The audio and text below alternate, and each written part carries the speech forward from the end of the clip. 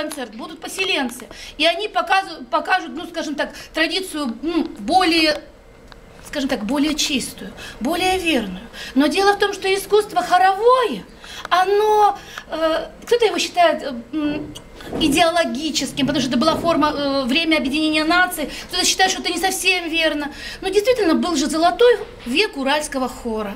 Был золотой фонд уральского хора. И одна из таких песен – это «У других-то мужья добры». Она действительно удивительная, она чудесная, потому что проходят десятилетия, а жизненная ситуация, отраженная в этой песне, она не меняется. А с другой стороны, исполняется эта замечательная песня крайне редко. Вот последний раз она звучала со сцены в 70-х годах.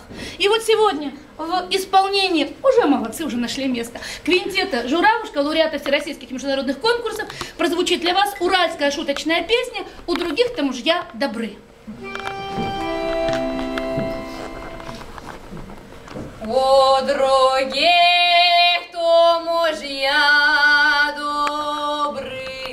добры,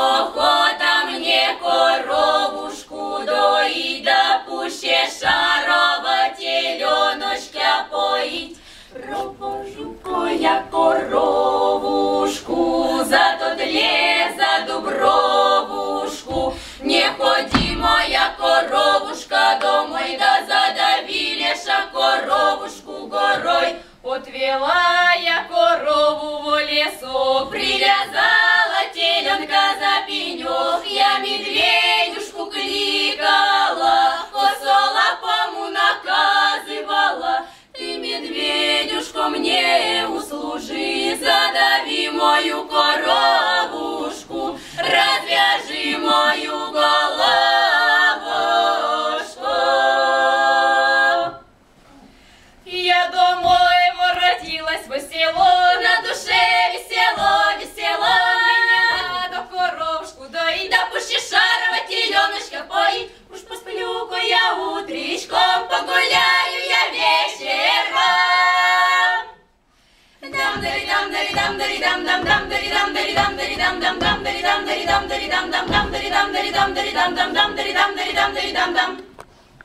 Поздно вечером вышла из ворот.